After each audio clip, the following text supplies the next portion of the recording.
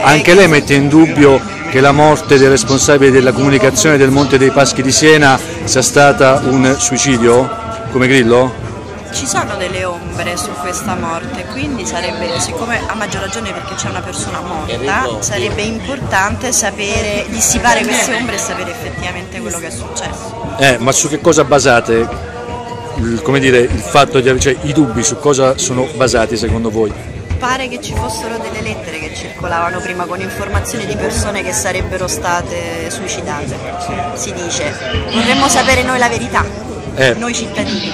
Ok, non le sembra che sia azzardato da parte di Grillo affermare che ci sono dei dubbi sul fatto che il dottor Rossi si sia suicidato prima magari di avere la certezza che ci siano queste lettere? Affermare un dubbio non è pericoloso, sarebbe stato pericoloso affermare una realtà incontestabile, allora sì, senza prove potrebbe essere pericoloso, ma un dubbio è legittimo. Anzi, forse siamo a questo punto in Italia perché nessuno per anni mai, si è mai posto dei dubbi, delle domande, delle critiche al sistema.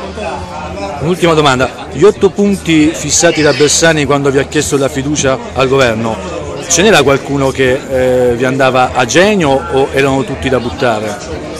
Ma eh, sulla carta tante cose sono in comune con il PD, però in vent'anni non le hanno mai fatte. Io sono andata prima ad andare all'incontro con Bersani, sono andata a riprendermi i programmi del 2001, del 2006, del 2008. Ho letto delle cose meravigliose, però sono rimaste sempre carta straccia, quindi purtroppo la fiducia uno se la guadagna sul campo con le azioni, eh, non è una cambiale in bianco che viene firmata dai cittadini.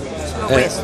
non- Mi dispiace tra l'altro che qualcuno abbia detto che abbiamo trattato male Bersani, non è la nostra intenzione dal punto di vista umano assolutamente perché nessuna persona merita di essere trattata male. Dal punto di vista politico però è un giudizio molto severo perché come cittadini e come ho detto ci sentiamo presi in giro da vent'anni. E perché le, e perché le sembrava di stare a Ballarò?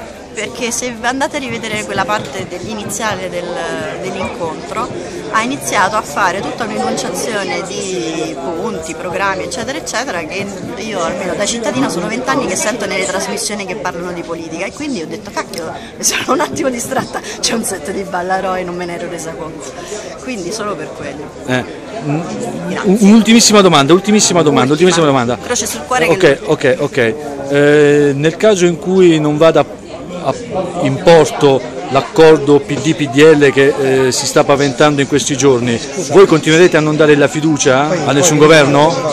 Eh, Eh, finisci sì, poi. no, scusa, rivedere Nel caso in cui l'accordo PD-PDL per un nuovo per- un governo non vada in porto, voi come dire, continuerete a non dare la fiducia a nessun governo? Noi continuiamo a chiedere di fare un governo 5 Stelle, sono gli altri che per 20 anni ci hanno preso in giro che si devono prendere la responsabilità di non mandare avanti un governo di cittadini.